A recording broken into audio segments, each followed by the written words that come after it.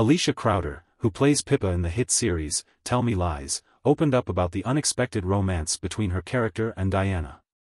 Crowder revealed that this plot twist brought an exciting new dynamic to the show, surprising both viewers and the cast.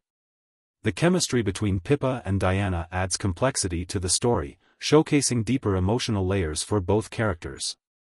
Crowder shared that this relationship will continue to unfold in ways that challenge the characters' perceptions of themselves and their relationships with others. Fans can expect more twists as the storyline develops.